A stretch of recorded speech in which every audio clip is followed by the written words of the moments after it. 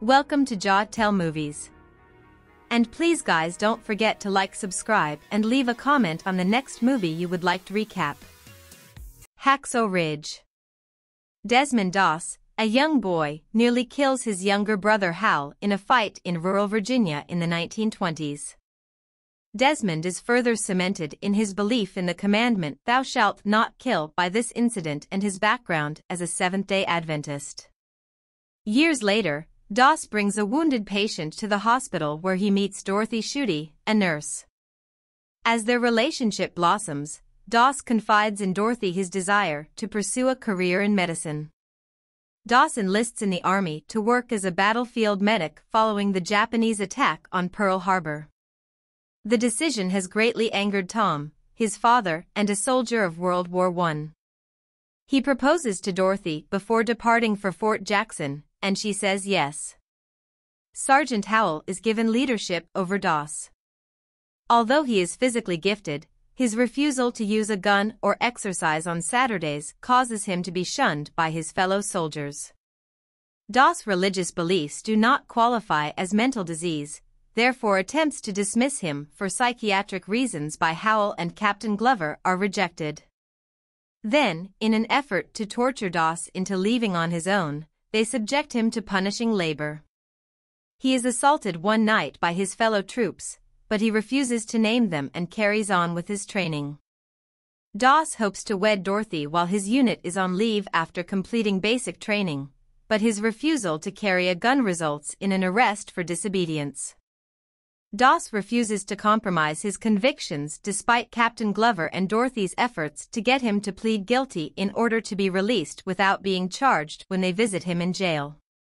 Doss enters a not guilty plea during his trial, but just before he is handed down a punishment, his father storms the courtroom with a letter from a former commanding officer claiming that his son's pacifism is protected by a law passed by Congress.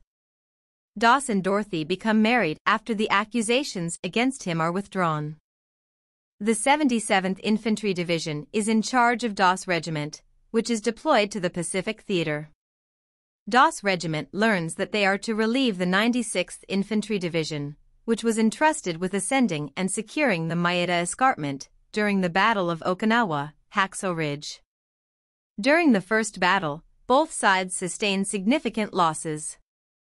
Doss earns Smitty's respect by rescuing his teammate. Doss tells Smitty that his dislike to owning a gun derives from almost shooting his drunken father who threatened his mother with a gun as the Americans camped there for the night. Smitty apologizes for questioning his bravery, and they make up. The Japanese execute a strong counterattack the following morning, driving the Americans off the escarpment. Howell and a number of Doss squad members get injuries on the battlefield, while Smitty is killed. Doss returns to save the dying soldiers after hearing their cries. Each time, he prays for another soldier to be saved as he carries the injured to the brink of the cliff and belays them down. The rest of the unit below is shocked to see dozens of injured people who were previously believed to be dead. Doss saves Howell at dawn, and the two managed to flee Hacksaw while being fired upon by the Germans. Doss is informed by Captain Glover that the men are motivated by his selflessness and that they won't start the next assault without him. With more troops, they change the course of the conflict. Doss is able to save Glover and others by deflecting enemy grenades following an ambush orchestrated by Japanese forces pretending to be in surrender. The struggle is eventually won, but Doss is hurt by a grenade blast. Doss walks away from the edge while holding the Bible that Dorothy gave him. The movie then cuts to historical footage and pictures that demonstrate how Doss received the Medal of Honor from President Harry S. Truman for saving 75 soldiers at Hacksaw Ridge. Dorothy and Doss remained wed up until her passing in 1991. At the age of 87, he passed away on March 23, 2006. Okay guys thank you for watching Jaw Movies and please don't forget to like subscribe and leave a comment on the next movie you would like recap.